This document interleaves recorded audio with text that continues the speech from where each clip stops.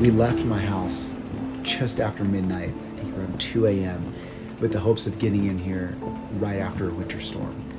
But if anybody's ever made that drive, they know that getting over some of these passes can be a feat in and of itself.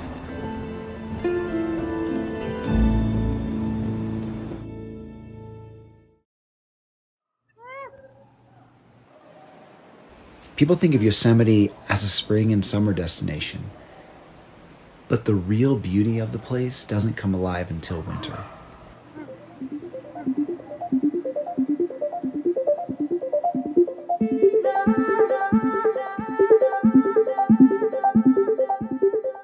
As long as I've owned a camera, Yosemite has been this place that's held some sense of majesty. But it wasn't until I visited in winter that I really realized what it means to appreciate this place.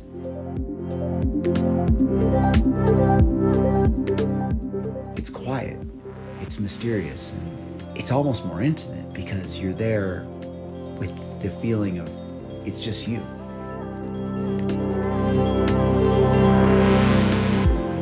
For me, trying to capture an image of Yosemite when the storm is clearing, that's always been the iconic moment. It's the photo that Ansel Adams chased after for years and finally captured.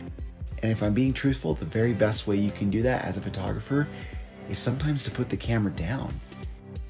It's just to be there, to be in the moment, to experience it.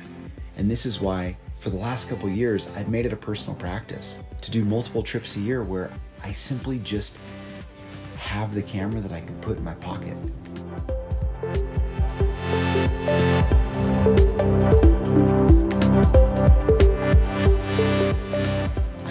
Device that allows me to really be in the moment, that doesn't make me second guess and consider what lenses I'm bringing, what equipment I have, you know, did I bring the right filter, yada, yada, yada. It just allows me to be there in the place.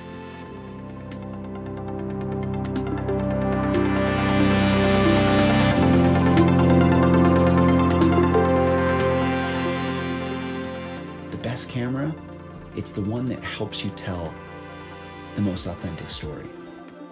Shifting back and forth between Pro Photo app and the Video Pro app on the Xperia Pro is a seamless process for me. It's something that, in many ways, feels like it's just a thumb stroke away, allowing me to capture incredible 4K quality video, allowing me to have an absolute endless plethora of settings and options white balance settings and, and cine settings to be able to mess with in video, being able to shift over and use f2 lenses on a one inch sensor, that's, that's an incredible experience.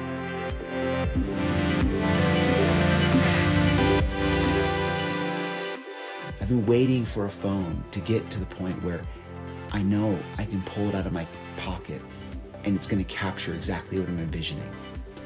For me, the best photographs are the ones that you have a story to tell. They're the ones that motivate you and move you and, and make you want to share something more than just a picture.